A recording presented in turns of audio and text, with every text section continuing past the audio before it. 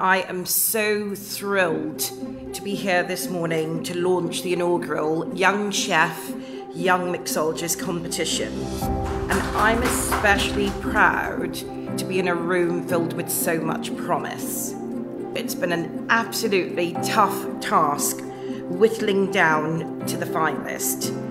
They hail from all over the island. They're at varying stages of their career. We have students, we've got graduates, we've got chefs, we've got business owners. The finalists are passionate about the industry and they want to carve out a long term career for themselves in this field. Cooking for me is more than recipes and mixing ingredients together.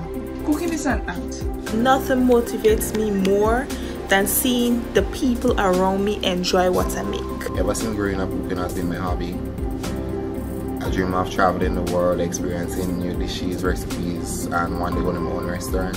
Enjoying food, eating it, creating holistically, it is a great experience, and I hope others will see how I see how great it is to create food.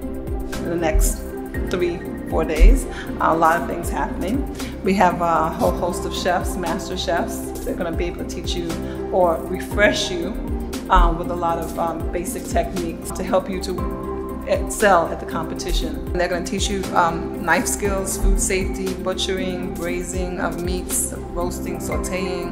Chef Nelsia also will be from Silver Sands teaching you desserts, how to make quick and easy desserts. And then the following weekend, we're going to come together and you're going to have to execute things on time. You're going to have to be able to articulate what you've made. And um, you, going to be a little more well-rounded when it comes to competition. I'm expecting to really be wow, and as well as the rest of Grenada and across the world. So I'm looking forward to um, meeting and working with all of you in the next three days.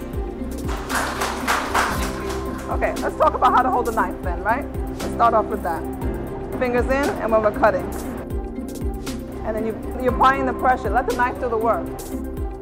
The first session, we did a lot of um, cuttings and so on. One thing that I had to remember that was a highlight for me, based on how you cut something, it's going to affect your dish. Your size matters, the way you cut stuff, it matters when you cook, different rates.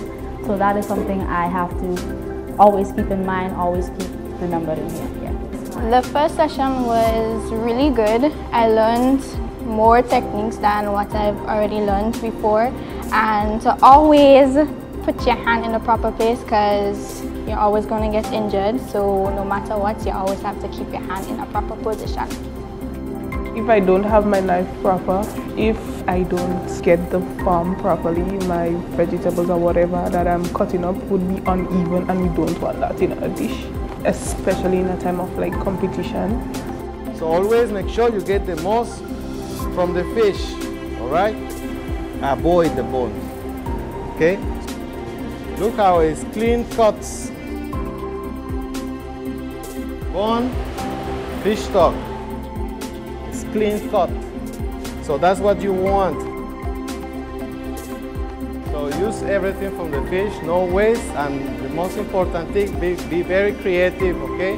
When you plan a menu, when you plan a dish, when you're doing a dish, you always think about balance, you know, from the nutrients, protein, carbohydrates, you know, um, what you're going to put on a menu. And then you start to work with flavors. Well, what I'm doing here, I'm, I'm being a chemist. I'm mixing all those ingredients together to get that one perfect flavor that I need. Almost there. We make that we make that crater there as a cup for the curry so that the curry don't go all over the plate. It's presentation.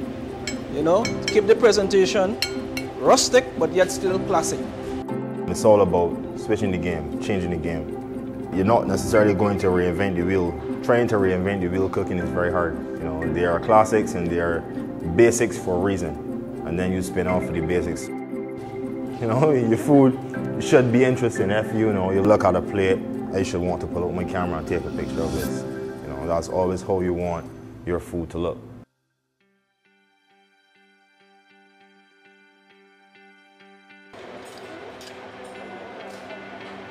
Before you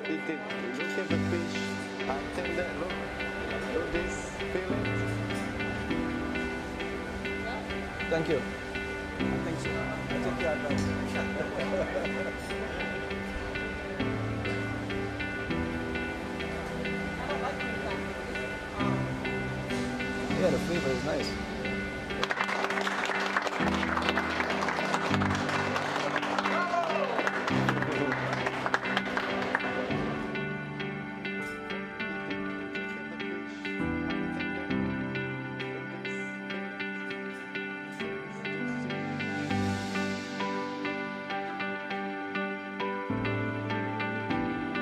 Morning guys. Today just here to do a nice quick demo. Should be within the same time that you guys will be competing. Just to show you guys that it is possible. Keep it simple, keep it smart. You know, as we spoke yesterday, the main thing was flavor. Food should always taste good. That's coming along well. As you can see, the fish is turning white. Right? Means it's cooking via the process of marination.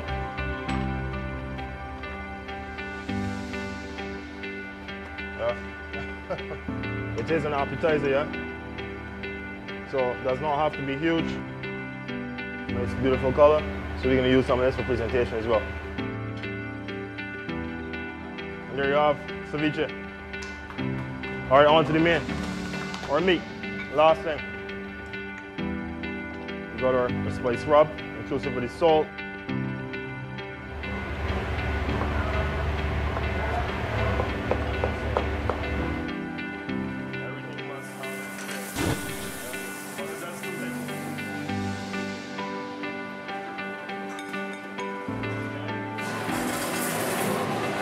Rotate that. See the oil starting to get a little more, so we can turn it off here, wrap it in foil.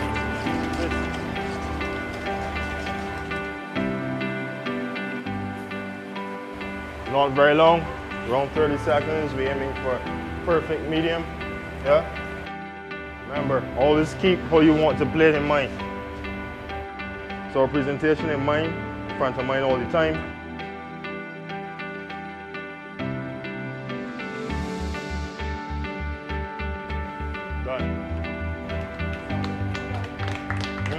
Are so excited about this. I believe that investment in the future is critical to ensuring our success as a tourism destination. It's always about the experience. Because without the experience, can actually make money. So to me, it's always about the experience and actually give off more of my um, experience and potential to Mhm. actually those outside there Mhm. actually see what I'm capable of and what I Yeah. can actually do and what I learn from the past chefs and I work with. Right, right. Yeah, so it's mostly mostly about the experience and taking my chef skills to another level.